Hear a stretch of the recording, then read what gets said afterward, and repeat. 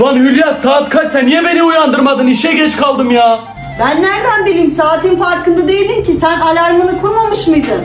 İyi tamam ya benim gömleğimi çabuk getir işe geç kaldım ya. Tamam tamam bekle getiriyorum ya.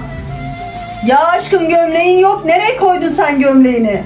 Bir gömleğimi bile bulamadın ya. Bu gidişle senin yüzünden kesin işten kovulacağım ha. Hadi ben gidiyorum akşam da biraz geç gelirim.